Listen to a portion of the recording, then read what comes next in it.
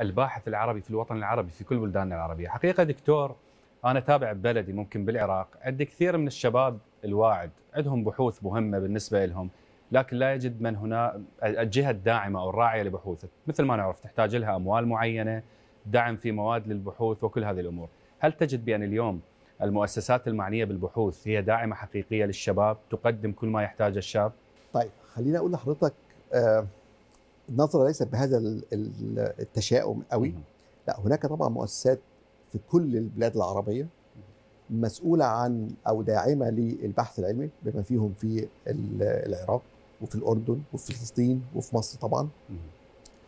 آه المؤسسات دي آه المشكلة الرئيسية أرجع تاني ليست في وجود التمويل. هناك طبعا بنية أساسية قوية جدا في معظم الدول العربية.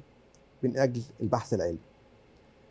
المشكلة هي عدم الربط ما بين البحث العلمي ثم المستفيد النهائي مش مش الإنسان اللي هو الجهة اللي هي هتاخد هذا منتج هذا البحث العلمي. كلنا عارفين وفي بنضرب أمثلة ما أعرفش في عندكم في في في الدول عندكم بتقول إيه؟ يقول لك هو عمل رسالة الماجستير والدكتوراه وحطها على الرف. أه. كويس؟ يعني هو خلي بالك حضرتك مفيش تفرقة بين التعليم والعلم والاستفادة من العلم. بالظبط كده أنت عملت في رسالة الماجستير والدكتوراه بتاعتك اللي هي معظم المناطق العربية البحث العلمي قائم أساسا في الجامعات وفي المراكز البحثية. طيب أنت مفيش حاجة اسمها إنك تعمل بحث علمي عشان تطلع منه رسالة أو تطلع منه بحث وتنشره.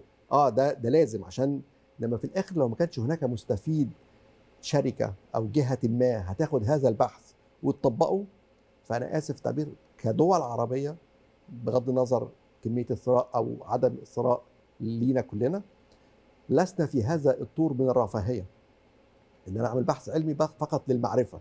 إن ما كانش البحث العلمي بينتج منه منتج الناس تستفيد منه في الآخر آه فده إضاعة للمال والوقت والجهد.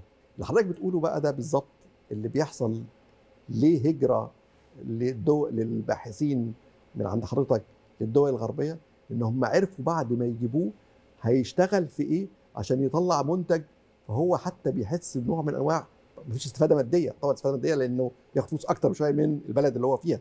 إنما هو في الآخر حس إنه أنتج منتج بقى موجود ما بين الناس بتتداوله ودي تاني أكتر حاجة بتحس بيها الإنسان بسعادة إن أنا قدرت أخد ده بقى اللي حضرتك رجعت له آه ده أنا عملت حاجة أفادت الناس. ويمكن معظم الباحثين في الدول العربية قضى فترة من حياته في دولة غربية. كويس أو حتى دولة شرقية يعني زي اليابان مثلا أو خلافه.